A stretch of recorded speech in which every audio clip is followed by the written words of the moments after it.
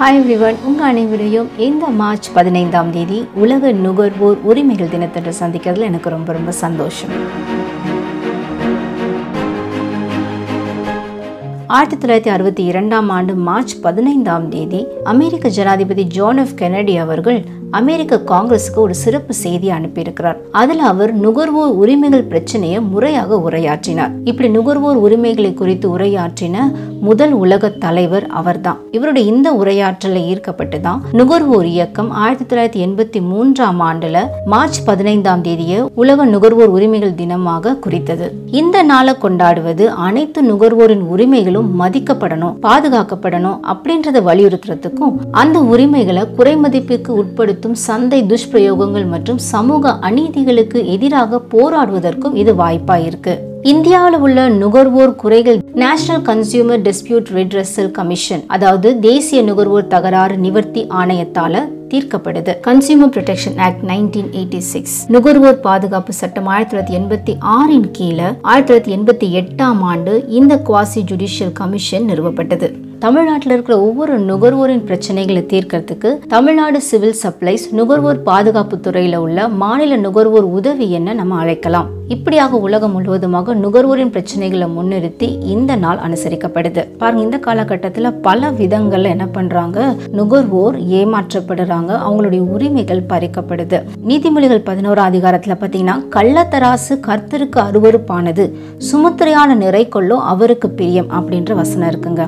எந்த தொழில் செய்கிறவங்களா இருந்தாலும் அவங்களுடைய நுகர்வோரை அவங்க ஏமாற்றினாங்கன்னா அது கள்ளத்தராசாக இருந்துச்சுன்னா அது வந்து தேவனுக்கு அருவருப்பான ஒரு காரியமாக இருக்குது. ஏன்னா ஆண்டவர் சொல்லியிருக்கிறாரு நியாய விசாரணையிலும் அளவிலும் நிறையிலும் படியிலும் அநியாயம் செய்யாதிருப்பீர்களாக. சுமுத்திரையான தராசும் சுமுத்திரையான நிறைக்கல்லும் சுமுத்திரையான மரக்காலும் சுமுத்திரையான படியும் உங்களுக்கு இருக்க வேண்டும். இப்படி பழைய ஏற்பாட்டில் எல்லா அளவும் எல்லா படியும் நியாயமாக இருக்கணும்னு சொல்லப்பட்டிருக்குதுங்க.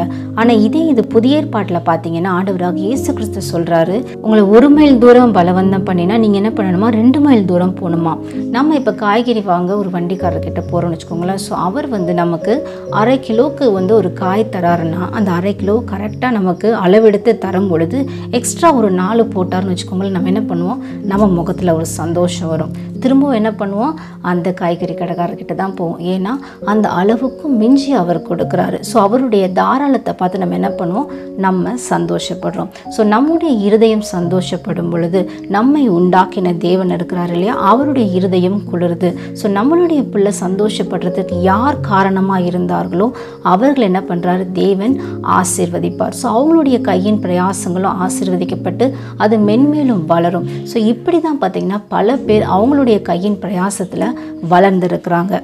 உன்னை நேசிப்பது போல பிறரை நீ நேசி அப்படின்ற தேவ கட்டளையின்படி நாம் வாழும் பொழுது நாம் எதிர்பார்ப்பது போலவே நம்முடைய கன்சியூமர் நுகர்வோருக்கும் செய்வோம். இப்படி தேவ வார்த்தைக்கு நம்ம கீழ்ப்படியும் போது கண்டிப்பாக ஆசிர்வாதம் நம்மேல் வந்து தங்கும். இப்படியாக தொழில் செய்து வருகிற ஒவ்வொருவரும் சுமுத்திரையான நிறைக்கல்லும் அளவும் படியும் கொண்டவர்களாக தேவனுடைய வார்த்தைக்கு கீழ்ப்படிந்து நுகர்வோர் முகத்தில் புன்னகையை வரவழைக்கக்கூடிய வகையில் நீங்கள் உங்களுடைய வியாபாரத்தை நடத்தி மென்மேலும் வளர்ந்து விருத்தியடைந்து சமுதாயத்திற்கும் ஆசிர்வாதமாக இருக்கும்படியாக உங்கள் ஒவ்வொருவரையும் ஆண்டவராக இயேசு கிறிஸ்துவின் நாமத்தினாலே நான் வாழ்த்துகிறேன்.